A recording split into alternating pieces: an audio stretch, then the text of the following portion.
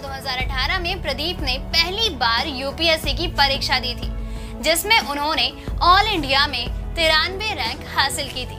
हालाँकि उनका चयन आईएएस के लिए नहीं हो सका था। आईएएस के पद से प्रदीप मात्र एक रैंक से पीछे रह गए थे। ऐसे में प्रदीप का चयन अपॉइंटमेंट इंडियन रेवेन्यू सर्विस यानी आईआरएस में हो गया। साल 2018 में यूपीएससी क्लियर हो गया, लेकिन वह आईएएस बनने से सिर्फ़ एक रैंक से चूक गए।